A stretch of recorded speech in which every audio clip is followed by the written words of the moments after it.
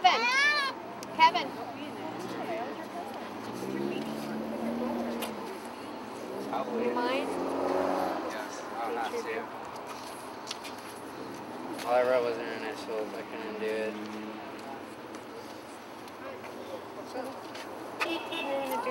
My name is Luisa Ruiz. I'm Robert's aunt. Um, he would call me Tita. And this is his mother, Alexandra Clark. Okay, could you spell both names for me?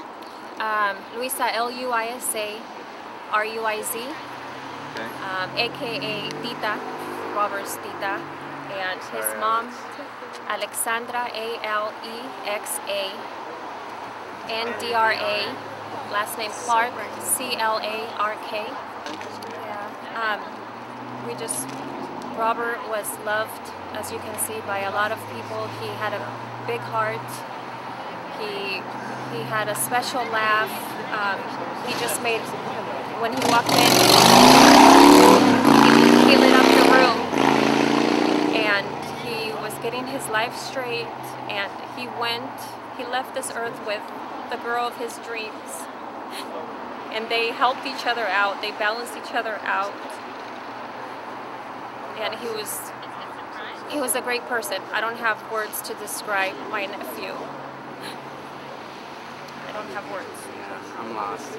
And I mean, you hear of tragedies that happen of families who have to go through this kind of pain during the holidays, and you think about it, and until you actually live through it, it you you just you understand what they go through, and it's a pain that I don't wish on anyone, on anyone. But he's in a better place. He's with Kiani. He's with all his loved ones. And we miss you dearly, Robert. We love you. Kiani, take care of him. Robert, take care of her. You'll always live in our hearts.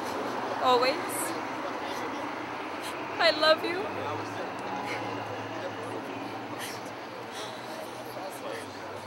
Thank you very much. Uh, t- just tell me what the board is here. Um, this board is, um, it has Remembering their life, Robert's and Kiani's life together. one last few words um, to both of them.